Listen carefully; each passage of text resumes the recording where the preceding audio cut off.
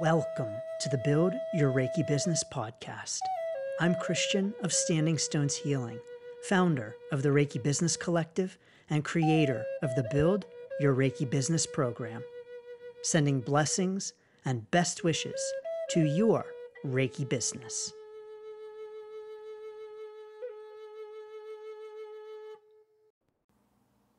Welcome to this episode of the Build Your Reiki Business podcast. So honored to have you here. Thank you.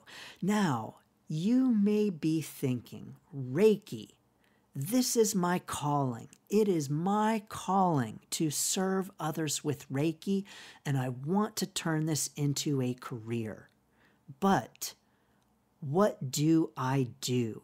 What's my first step to get started and get certified?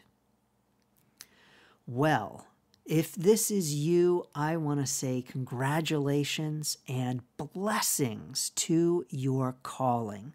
We know how powerful Reiki is, we know how beneficial it is, and we get excited to help others with Reiki as well. So, welcome. Glad to have you and to share in the excitement and enthusiasm with you.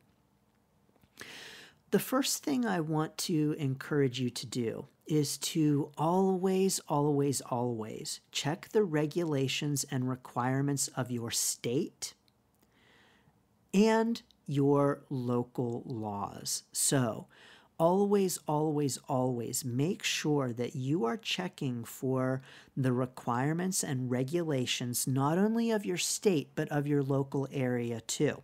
Because Reiki is largely unregulated, which means that by and large, for most US based Reiki businesses, by and large, Reiki is not regulated, which means that there is nothing special that you need in order to uh, quote unquote get certified because there's no official Reiki certification.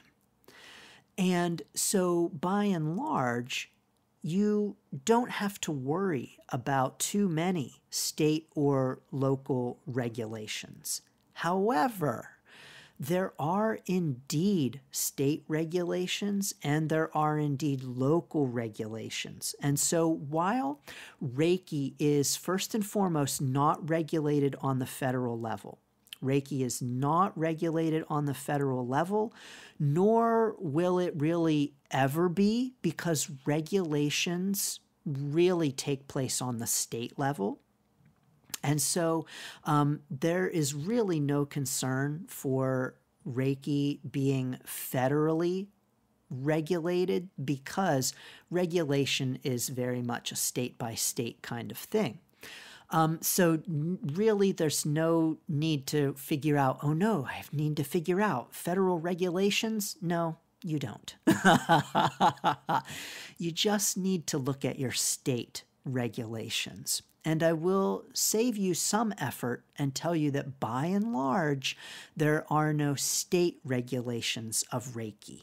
However, we know that always this is subject to change, and we know that always regulation is in the works on the state level. So please make sure that you are checking the regulations of your state. Now, I'm not going to pretend to know all the business of all 50 states. So whether or not your state has any Reiki regulation, I am not going to claim to know that definitively. I do know that Florida does, and I do know that in order to practice hands on Reiki in Florida, you need to have a massage license. But most states are not like Florida. And most states do not have any regulations attached to Reiki. Again, please check with your own individual state. Standing Stones Healing Company cannot be held liable for any errors and omissions in this podcast. but um, check with your state. Now, we also know that regulation can, does, and has happened on local levels. And so, what that means is that just because your state doesn't have any Reiki regulations does not mean that your local area does not. So please also check with your local area. Now, the chances of this are smaller, but it doesn't mean that they're non existent. So please make sure that you are checking local regulations as well. But this is where I want to encourage you to check first because what you don't want to have happen is that you don't want to jump into building a Reiki business only to find out that, oh no, you need some uh, licensing that you didn't know you had to have. Oh no, you need some certification that you didn't know you had to have. So let's say that you wanted to start a business in Florida and you started with your Reiki business. Maybe you rented a space. Maybe you uh, wanted to start seeing clients. And uh oh, ribbon cutting day, you find out that you need to be a massage therapist in order to see Reiki clients in person? What? Holy cow. And by the way, becoming a massage therapist requires thousands of dollars in education and training, hours and hours of work and certification, and continuing education credits. And so, holy cow, there goes your Reiki business model. So, I want to encourage you to always make sure at the outset of your Reiki business endeavors to be checking your local laws and regulations. Now, this is where also having an idea of your Reiki business model is going to be beneficial. And so, what that means is that if your Reiki business model is, for instance, creating and selling Reiki infused jewelry, then you don't have to worry about that hands on massage therapy requirement in Florida because you're not doing any hands on work with clients. Your Reiki business is all about creating Reiki products and selling them. That is still a Reiki business, just not one that um, works with clients in a hands on capacity. And so having an idea of your Reiki business model is really helpful when you are reviewing regulations and what you can and cannot do.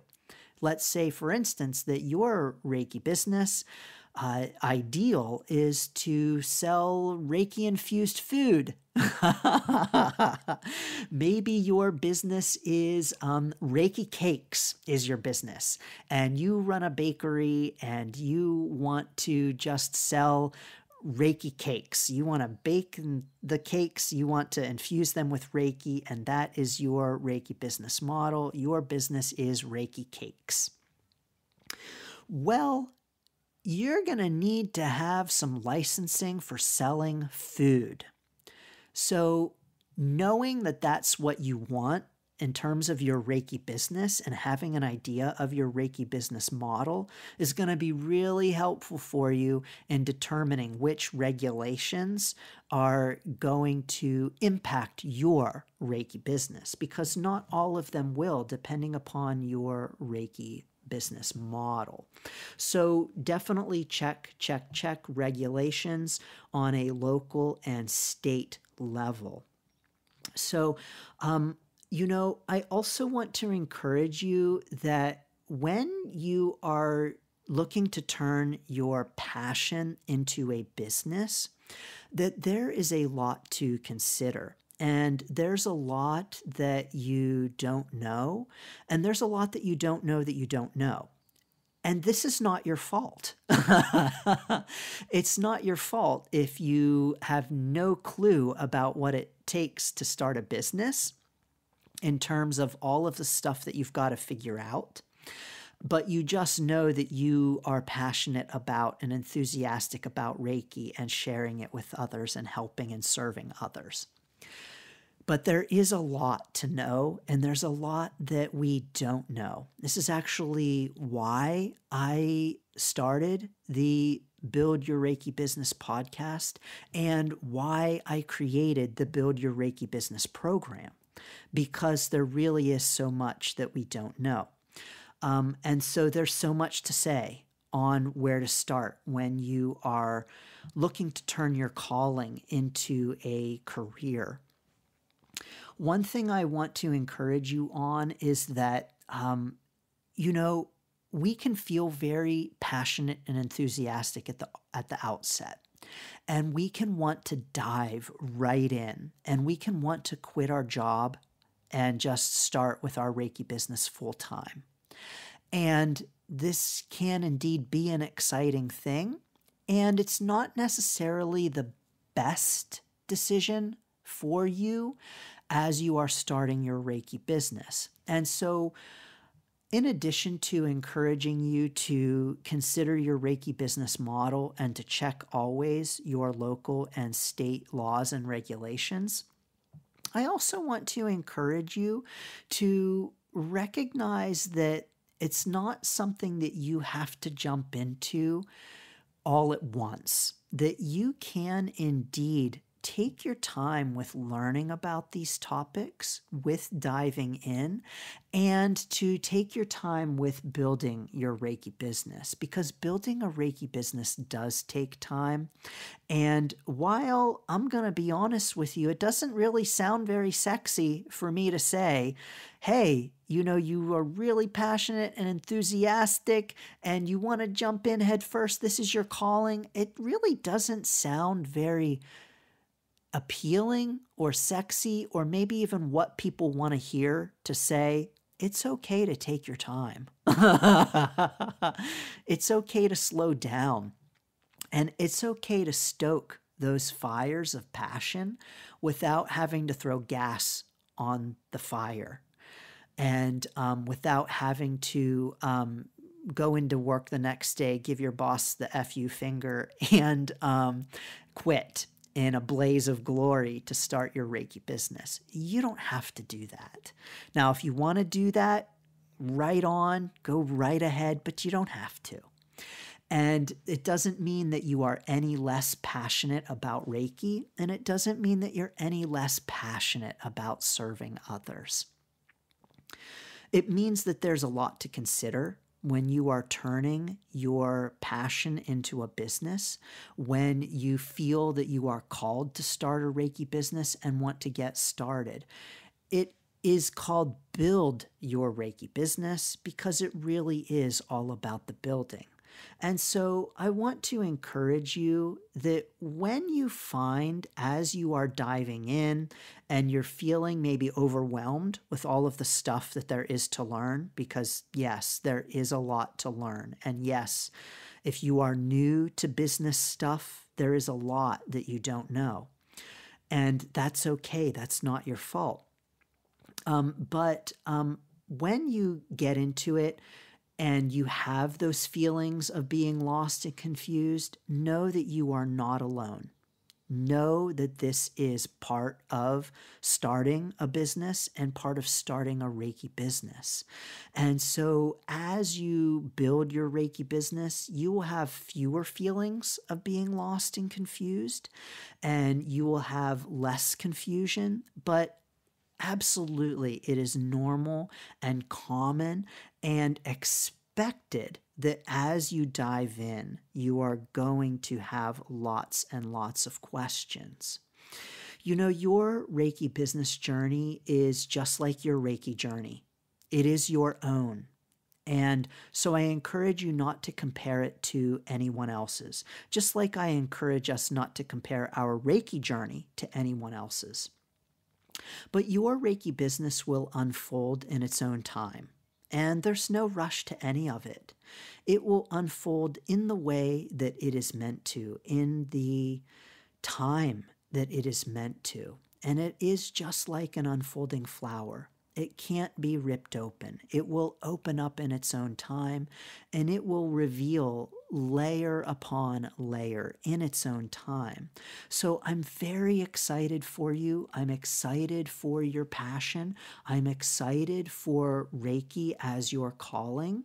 And I want to bring it down to the practical first and foremost for you and encourage you to determine that Reiki business model, consider those Reiki business questions, and to check those Reiki business requirements and regulations in your state and in your local area.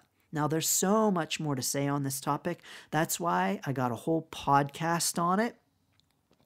Um, and that's why I've got the Reiki Business Collective group as well. So if you have not already, I want to encourage you to join the Reiki Business Collective Facebook group at facebook.com slash groups slash Reiki Biz.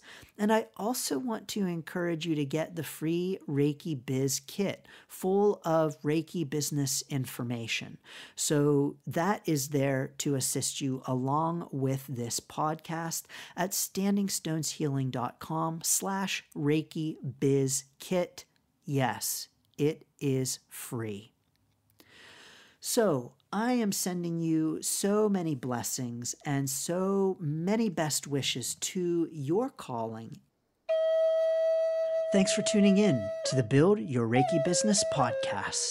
Please like, share, subscribe, and send to a friend. Learn more about the Build Your Reiki Business program at standingstoneshealing.com slash build, sending blessings and best wishes to your Reiki business.